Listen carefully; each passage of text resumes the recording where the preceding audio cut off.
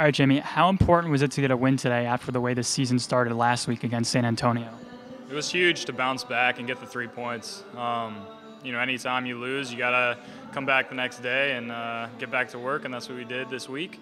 And it showed on the field. We battled. I mean, uh, I think maybe we could play a little bit better soccer at times, but you know, uh, we were 100% effort at every moment, and you know that's what uh, helped us grind out the win.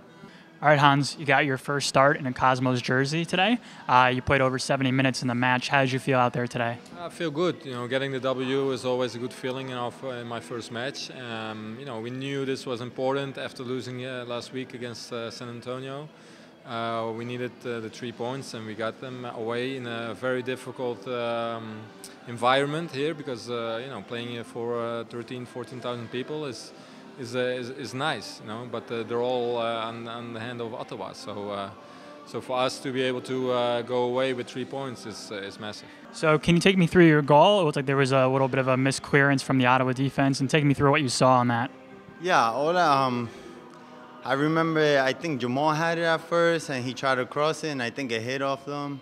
And Match tried to open it, and one of them touched it and I got there before the, the last defender. I hit it to the side and crossed it um, to the second post, and it went in.